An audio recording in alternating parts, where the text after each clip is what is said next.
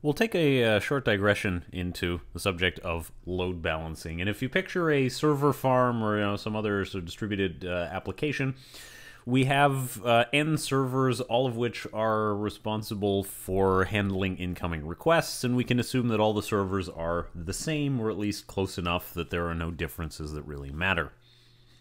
We typically see in load balancing some assignment of tasks via a dispatcher of some sort. Uh, it, you can do this yourself. Um, web cloud services providers offer you tools that you know, automatically balance requests, blah blah blah, and with you know, connection keep alives and stuff. So the same uh, clients get matched with the same servers in case there's some internal state. You know that kind of thing um, does exist, uh, you know, already. So usually what we see is you know an incoming request goes to a uh, dispatcher, and the dispatcher is then going to just assign it uh, to a different host. Okay. Um, simple. Um, the thing is that there's no um, strong rules about how load balancing should work.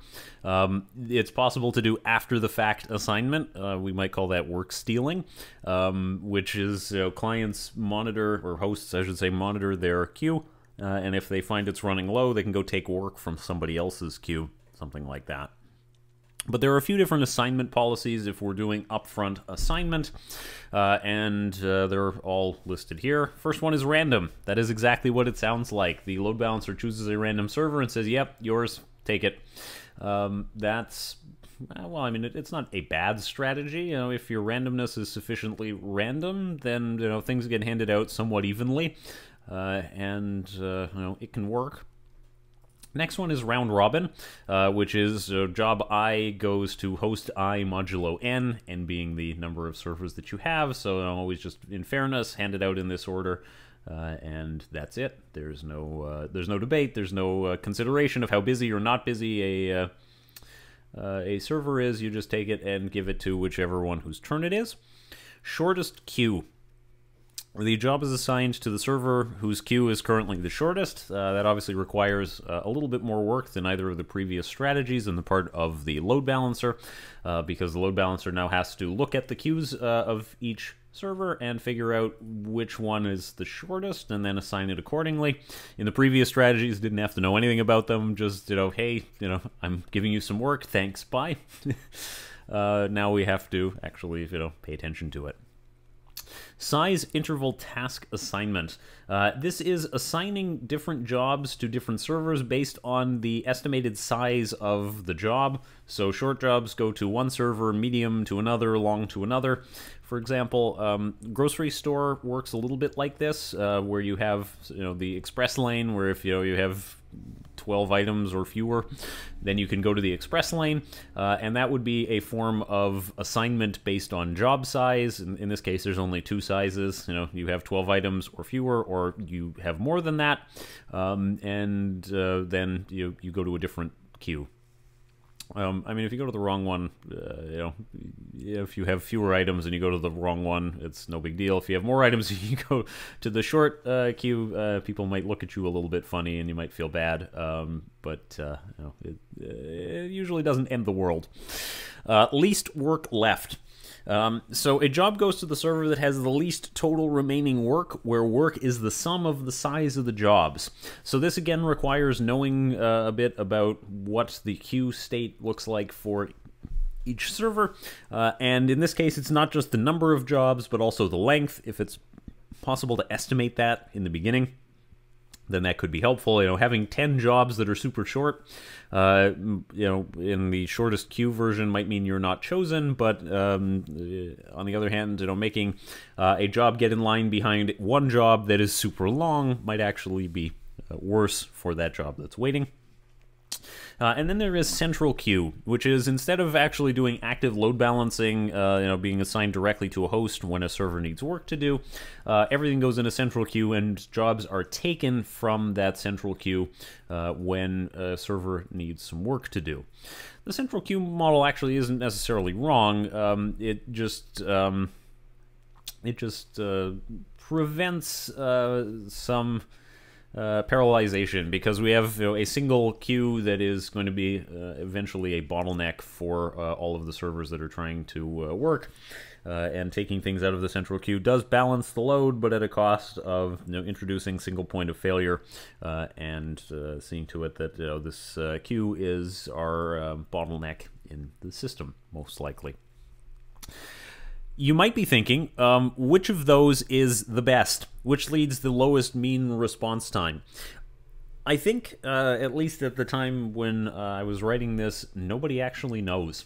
There hasn't been enough research into this to give a definitive answer where I could say, yes, uh, you know, it is the case that this is the best strategy we can speculate that it very likely depends on things like job variability and you know, other factors. You know, how many servers do we have, and uh, uh, what are they all the same? That kind of thing. There, there isn't necessarily you know, an obvious answer where I can say for sure.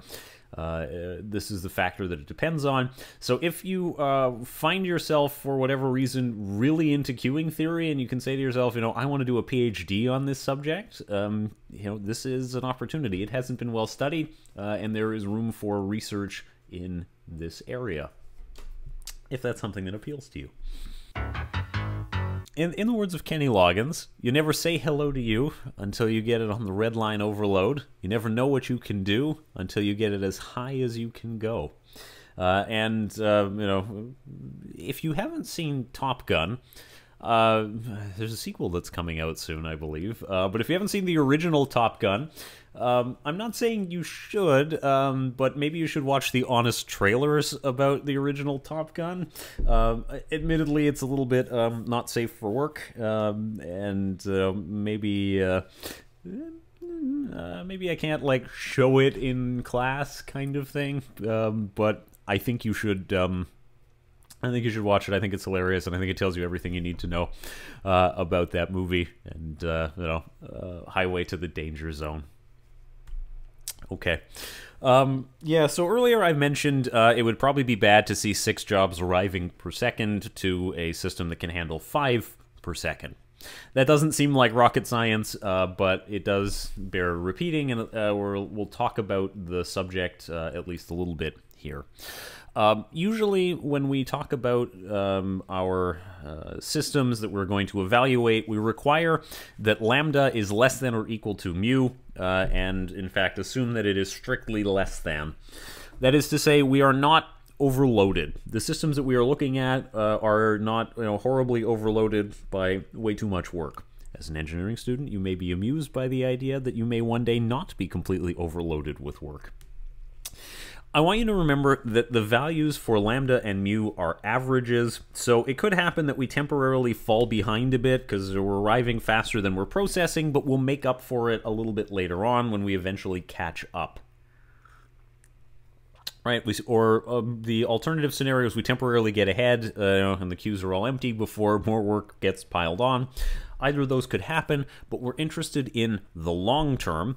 Uh, and in the long term, you know, we have to be um, keeping up, otherwise things get out of hand. Uh, and uh, if we're not keeping up, if arrivals are exceeding completion, then in the long run we end up you know, with a queue length of infinity. Uh, right? You know, take the limit as time goes to infinity, the queue length goes to infinity, and obviously that won't work. The uh, people won't wait forever first of all. Um, but second of all, you know, you can't store the infinite queue length anywhere because uh, there's there's just not enough space. Uh, and so, if you wanted um, a little uh, mathematical uh, justification behind that, will represent time with its traditional symbol t, uh, and define n of t as the number of jobs in the system at time t. Uh, a of t represents arrivals by time t, and d of t departures by time t uh, in which case the expected value uh, of the uh, n of t uh, is equal to expected value of a of t minus expected value of d of t, um, which is to say that you know, the number of jobs in the system on average is the average number of arrivals minus the average number of departures. So if 500 jobs have arrived and 480 have departed, our number of jobs in the system is 20 no uh, no magic there, uh, uh, which is to say that lambda t uh, minus mu of t uh, is the relevant factor here, which is t times lambda minus mu, uh, which is to say if arrivals exceed departures, lambda minus mu is a positive number and not a negative number, uh, which means that this term goes to infinity as time goes to infinity, which we do not want. Okay. Um, so raising our throughput is generally desirable. This is the kind of thing that we've really been talking about for the entire course when we say, all right, we, you know, we are doing programming for performance and we are parallelizing this algorithm, uh, which increases our bandwidth, you know, we're increasing our throughput. Same thing if we reduce latency, we said, all right, we replace this with you know, a different implementation that is better and has lower latency and you know completes in less time the faster we complete work, the more work we can get done in the same amount of time. And improving that is usually a goal. Um, however, improving the service rate does not necessarily improve the throughput. You might be thinking, like, wait a minute, what do you mean? Okay, we've assumed that the arrival rate is less than the service rate, so we have already enough capacity to complete incoming work and possibly at least a little bit more. Um, and so the limiting factor on how much work is completed in total is actually the work that is arriving. Adding more work capacity doesn't necessarily mean that more work gets done. You might be capable of completing six assignments for this class this term, but you're mercifully only assigned four of them, uh, and then you will only complete four. Uh, raising your work capacity, you know, increasing your ability to get work done is good you know, in terms of uh, what is possible, but adding that capacity on its own doesn't accomplish anything if there isn't more work to do. So raising mu increases the maximum possible throughput. You could complete six assignments, but I only assigned you four, so you only complete four. So the actual throughput at the end of the term, how many assignments did you complete? Still four. Doesn't matter that you could have done six, uh, or if your capacity was four, or five, or seven, or twelve. Uh, I don't know if 12 is realistic, but uh, anything like that increases the maximum possible throughput, but not the necessarily the actual throughput. But just to make you suffer, in a closed system, that's not the case, uh, where there's always more work to do, and as soon as one item is finished, the next one enters the queue. You know, pic picture you're, uh, you're doing, I don't know, a sprint, and every time a ticket is completed in the sprint, a new one gets added to the sprint. Um, in which case um, you are always running at capacity all the time, uh, in which case uh, mu is the controlling factor uh, because your throughput is exactly equal to your service rate. However many things you are capable of getting done, that's how many you get done. You know, we have 500 million transactions to process, and if we can do five at a time, we're doing five at a time, and that's our um, throughput. If we increase it to 10, then we're doing 10 at a time, and that's our throughput. We like that. Um, that's the case in you know the batch system, you know the mainframe kind of thing, where you submit your job and it runs overnight, and in the morning you get a result. Maybe it's the one you wanted. So in that case, you're running at capacity all the time. Um, queuing theory is not super intuitive, as you may imagine at this point. And uh, well, truthfully, uh, closed systems somehow are worse than uh, open systems in this regard. Uh, what is the throughput here in the diagram that is shown? Uh, we have uh, a multiprocessing level of n, uh, where we have a uh, two stages kind of processing, where uh, a particular job goes through server 1, which has completion rate mu1, uh, and then it goes after that into the queue for server 2, mu2, uh, as its completion rate, and then when a job is done, the next one is immediately dispatched based on uh, n. Okay. Intuition might suggest that it is the minimum uh, of mu1 and mu2, um, and the answer to that is sometimes. This is valid if the slower of the two servers, whichever one it is, is always busy but that might not actually always be the case. Um, if if multi-programming level is one, there's only one job you know running at a time. Um, maybe uh, I mean, yeah, you could argue, I suppose, that in that case, yes, it's always the limiting factor is the slower server. Um, but you know, having only one job in progress at a time is kind of inefficient because you're only using one of the two servers at a time anyway, uh, and, and end up feeling maybe a little bit silly. Um, what about n is 2? Um, you know, does that mean the slower server always has work to do at all times? The answer to that is unfortunately no. Um, you know, the thing that really you know, trips us up in this regard is that when we talk about these things, they are averages. Um, and so, you know, sometimes the slow server is faster, and sometimes the fast server is the slow one, because these are just averages, and it really depends on what work it is you have to do averages can be misleading. You know, uh, if you read, you know, the average family might have 2.3 children or whatever the figure is, you know, different by country, um, but you can't have 0.3 of a child um, that I know of. Uh, so it is ultimately the case that uh, when we talk about averages and we say, all right, this is the slow server, it means that most of the time it is slower, but it's not all of the time. So anyway, if you want to um, measure your you know, maximum capacity, your your uh, completion rate mu, um, you can um, try to figure out how to get this done. Some smart folks at IBM wanted to know that if given an arrival rate lambda, uh, what the mean job size is, which is the expected value of s, uh, which is 1 over mu. Um, and um, that is, well, you know, it's well, it's one over mu, so it's a way you can compute it indirectly. Uh, e of s is the mean time uh, required for a job in isolation. So the experiment in this case would be 100 runs of sending in a job and waiting for the result, and then averaging the time that it took. That's okay, but it doesn't reflect the reality where you have things like data being cached uh, and uh, possible multiple concurrent jobs and competing over resources and stuff like that. So that's not um, that's not super representative of what happens in a real life scenario. So if you have an open system, um, then you just keep ramping up Lambda. You just keep piling more jobs on the system, and at some point the system can't keep up, and the queue starts growing indefinitely, and we're not keeping up. Uh, and the completion rate levels off at some point, and that gives us immediately a value for mu. If you are unable to, despite the system being way overloaded, complete more than you know 200 jobs per minute, you know that's your completion rate, and you're done.